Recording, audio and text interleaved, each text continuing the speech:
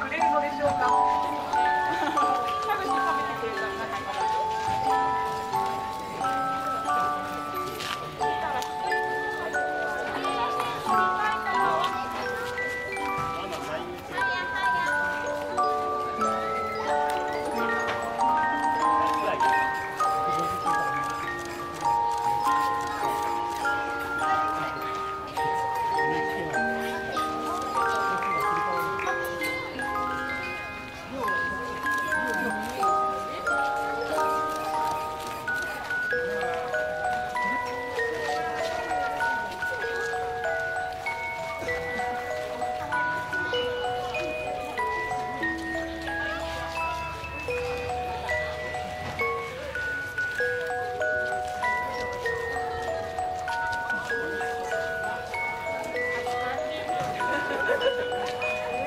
南米の水辺に住むネズミの仲間カピバラの誕生日です。はい。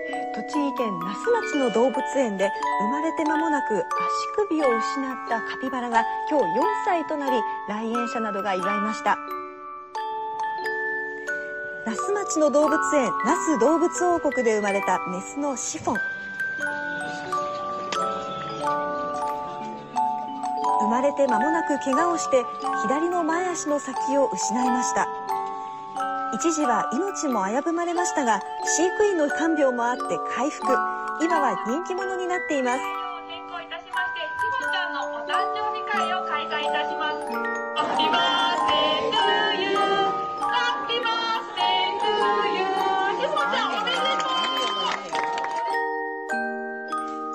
誕生日の贈り物は好物の野菜などを盛り合わせたバースデーケーキです。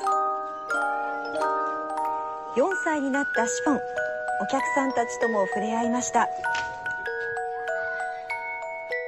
もっと長生きしてほしいです。皆さんに触らせてもらえて嬉しかったです。またこういう機会があったらぜひね来たいなと思うんでしもちゃんにも元気に元気でいてほしいです。